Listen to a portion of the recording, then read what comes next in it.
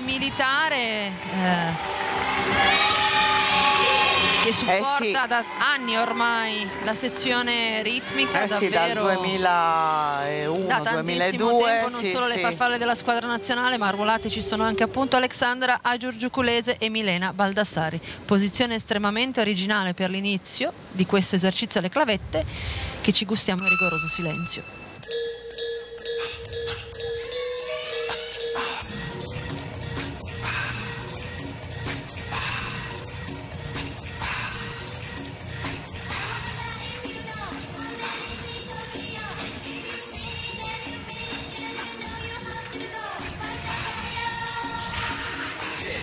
day.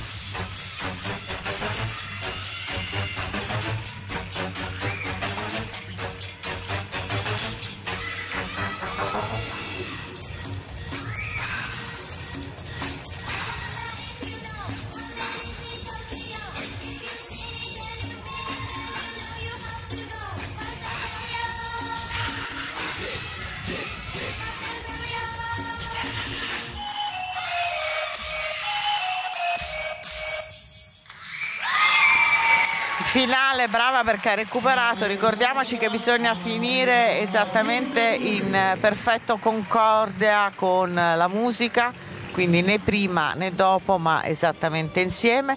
Un esercizio che soprattutto artisticamente veramente, ecco, vedete molto molto interpretato da Alexandra eh, con eh, una quasi giovialità che comunica la musica, eh, ma con eh, movimenti assolutamente molto molto questo difficili. passaggio di questo salto che oltretutto porta il suo nome ma soprattutto con questa clavetta in equilibrio instabile davvero è diventato uno dei passaggi che caratterizzano lancetto che questa, questa ginnasta, Assolutamente, insomma, assolutamente, molto.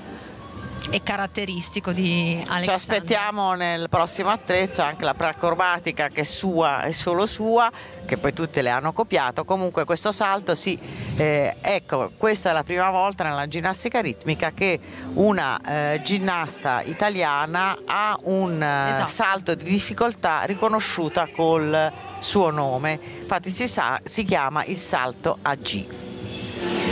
Abbreviativo di Giorgio Culese Eh, diciamo sì, che è un certo, cognome sì, un sì, po' sì. complesso quindi sorride No, Alexandra Anche perché sono tutte Certo. con le prime due iniziali del, del cognome della gente, anche perché se no anche solo scriverlo ci mettiamo sei ore e un quarto.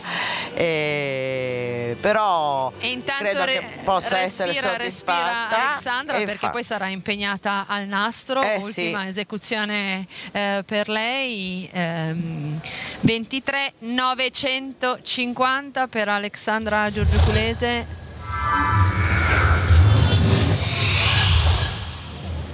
Che naturalmente vince la sfida con Chiara Puosi, ma adesso è la volta di Talisa Torretti, ce l'ha mostrato eh, la grafica, le carte, terza ginnasta impegnata alle clavette in rappresentanza della ginnastica Fabriano, Talisa che ricordiamo essere stata medaglia di bronzo agli YOG. Gli YOG sono i giochi olimpici giovanili ai quali ha partecipato Talisa nel 2018, nel mese di ottobre del 2018, medaglia di bronzo storica insomma per